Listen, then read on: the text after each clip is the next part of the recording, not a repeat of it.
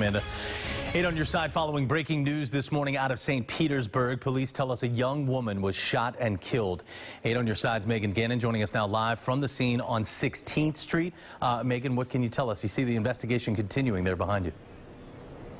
Yeah, I mean, it's been continuing for hours at this point. We're actually learning new information about that victim. We're told she's the mother of two children, a three-month-old and an eight-year-old. Take a look right here at these pictures. We got these from the St. Petersburg Police Department. This is 23-year-old Arnesia Milton. She is the victim in this shooting. Police tell us that she was an innocent bystander when all of this happened.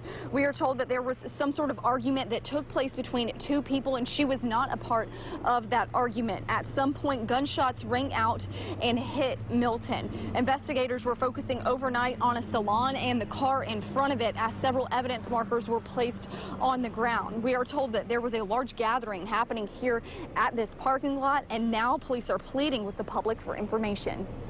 Initially, uh, the crowd dispersed, but there was a large crowd here both before and after the shooting. Um, so we know that there are people that saw what happened and might be able to help us piece this all together.